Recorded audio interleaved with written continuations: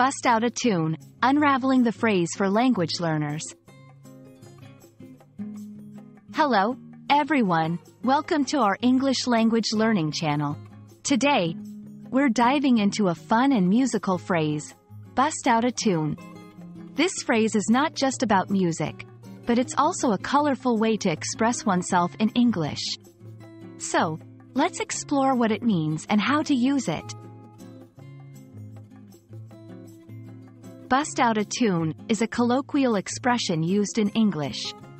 The word bust here means to break out or suddenly start something, while a tune refers to a song or melody. So, when someone says they're going to bust out a tune, they mean they're about to spontaneously start singing or playing a song. It's often used in a light-hearted, informal context.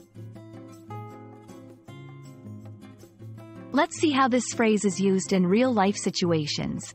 1. At a party. Imagine you're at a party, and someone suddenly starts singing their favorite song.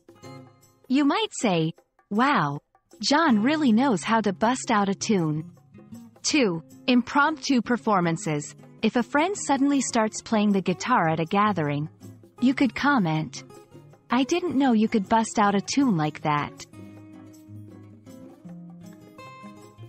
This phrase can be slightly altered while keeping its essence.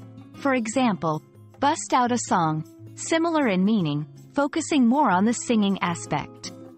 Bust out a melody. This version emphasizes the tune or musical aspect. And that's a wrap on Bust Out a Tune. Remember, this phrase is great for informal settings where music and spontaneity are involved. We hope this video helps you understand and use this fun expression in your English conversations. Happy learning, and don't forget to bust out a tune whenever you feel like it.